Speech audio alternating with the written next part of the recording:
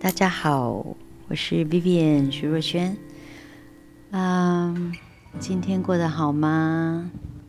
晚上十一点了，在干嘛？应该是躺着吧。我今天想要聊，就是我们在情绪很低潮的时候，要怎么样重新给自己力量，然后把负能量转为正能量。我留给大家的印象应该都是很乐观，然后很正能量的，因为我不太喜欢把我的怎么说，我好像从以前就不太喜欢让自己低潮太久，或者是分享我自己真正的心里面的低潮给别人听，那我自己会想办法很快的就让它过掉。然后，因为我非常的不喜欢在同一件事里面一直打转，然后我非常不喜欢在同一个事件里面钻牛角尖。我觉得怎么从低潮里面走出来？我说很很多时候都是我们的面跟我们的想法，所以我觉得自己的思维只要能够调整到一个对的方向，我们就会比较快走出来。因为如果自己的思维没有调整的话，别人怎么帮你，我觉得可能都很难走出来。所以最后最后还是得要靠自己。我为什么每一次可以比较快走出来，是因为我我的方式都是去解决问题。因为我觉得一直诉苦、一直抱怨、一直跟。人家聊，然后其实问题一直没有解决，但是一直在聊一样东西。那个对我来讲，我会觉得聊天聊得很累，就是可能很多人来关心我怎么样怎么样，但我觉得一直要聊又不能解决问题，这样子的聊天或这样子的抱怨，对我来讲我都觉得很浪费时间。有一种女生我很怕，就是她一直在 complain 她的另外一半，但她都不去解决问题。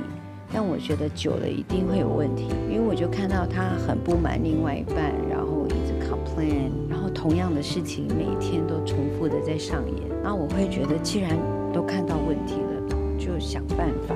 那个我们聊天的方式跟方向，好像要来做一些更有意义的谈话，就是怎么去解决问题，然后讨论出来之后。就真的要去执行，然后要勇敢的去实践自己已经整理好的东西，已经整理好的方式，就是不要一直重复在一个痛苦中或一个问题中，每一天痛苦，每一天重复，然后问题没解决。我在两年前也有一个让我觉得难过、很低潮的事情，但是我。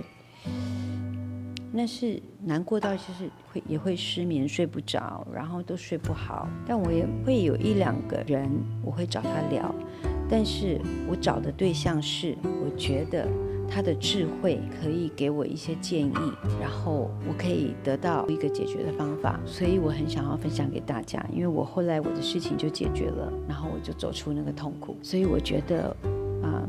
姐妹们，大家心情不好，或者是有什么很痛苦的事情，我觉得你你去找的那个聊天对象真的很重要。如果你已经很低潮，你不要再找整天都是负面思维的人聊天，或者是只喜欢抱怨不解决问题的人聊天。我觉得说那个事情就会一直往下坠，不会往前走，然后你可能会越来越负面，然后越来越糟糕。所以跟你谈话的对象很重要。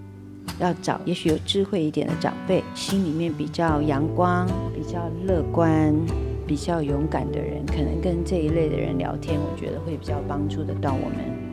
我也常常成为身边姐妹们聊天的对象。其实我比较喜欢听别人的故事，我比较少真的找姐妹吐露我的生活上的一些不开心，因为我自己很快就过掉了，我是那样子的人。然后或者是我很快，我想办法。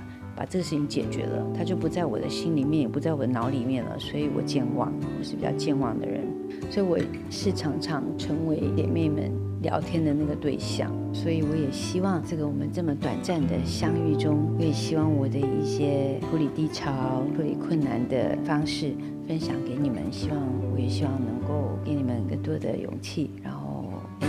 可以试试看我的方法，搞不好很有用哦。如果你没有生病，只是纯粹的低潮的话，我建议不要待在家太久，一定要走出来啊！外带给我们更多希望，然后不要放弃自己，要运动。我觉得运动也会给我们很多的快乐因子，还有希望。因为有时候流汗呐，我觉得有时候深沉的流汗是可以让我们宣泄压力的。好，加油哦！祝你们每个人都快乐，做一个快乐的人，做一个不败的女人，不败。不等于不能失败，不败指的是我们如何每一次在挫折中、在失败中都能够有勇气找到方法站起来，然后遇到更好的自己。我们都可以的哦，敬女人，晚安。